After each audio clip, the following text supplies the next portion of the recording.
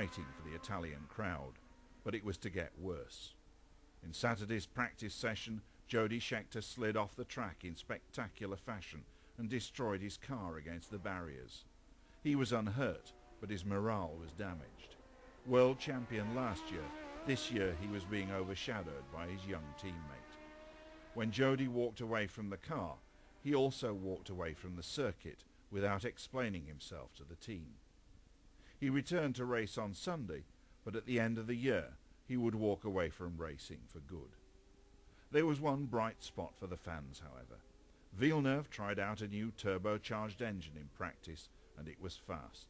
It wasn't ready to race yet, but when the locals saw the Renaults first and second on the grid,